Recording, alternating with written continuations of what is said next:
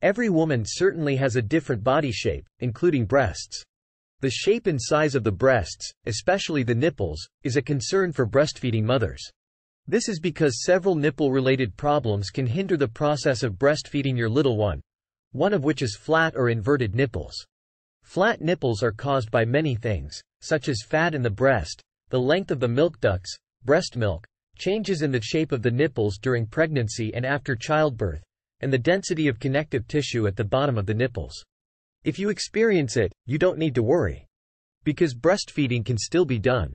In the following, we will provide information on how to safely and comfortably breastfeed with flat nipples Healthline. 1. Express milk by hand before starting to feed.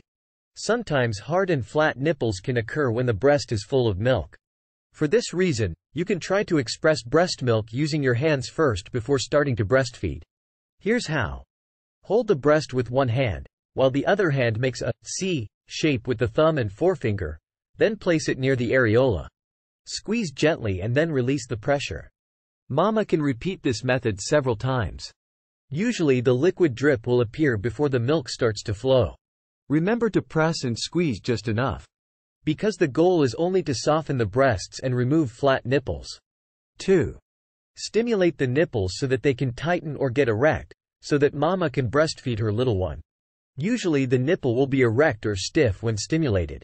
Therefore, mama is advised to stimulate it so that the nipple can come out. If this method works, chances are that the baby can breastfeed well. Here's how.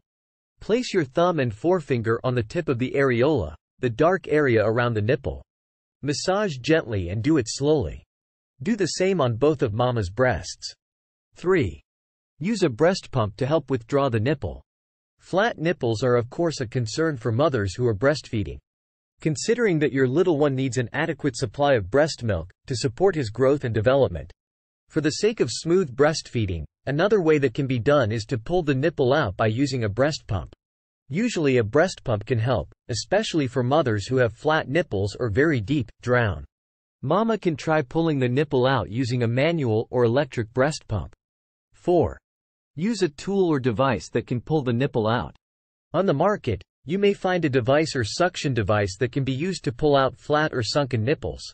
But usually, these products are sold under different names. For example, nipple extractor or nipple retractor. This tool will work by loosening the tissue around the nipple and help pull it out.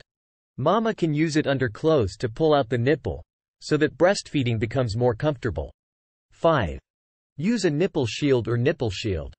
Nipple shield is a nipple-shaped breast shield that can be used around the areola or nipple. But this one tool is usually used for temporary relief. The nipple shield functions to encourage good attachment when your little one is suckling, and helps pull out flat nipples. You can put it under the clothes you wear every day, and use it between feedings. 6. Stimulate the nipples with the Hoffman technique.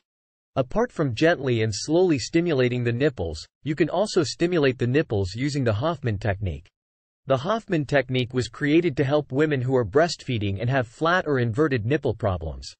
A study in 2017 found that the Hoffman technique can effectively increase the ability of the nipples to channel milk, so that the breastfeeding process becomes more optimal and of good quality.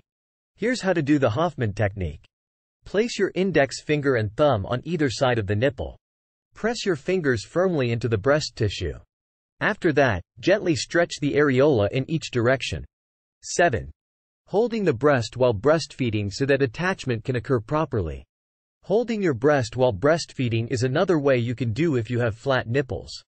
Holding the breast also aims to make attachment occur properly, so that the baby can get more breast milk. There are two ways you can do them.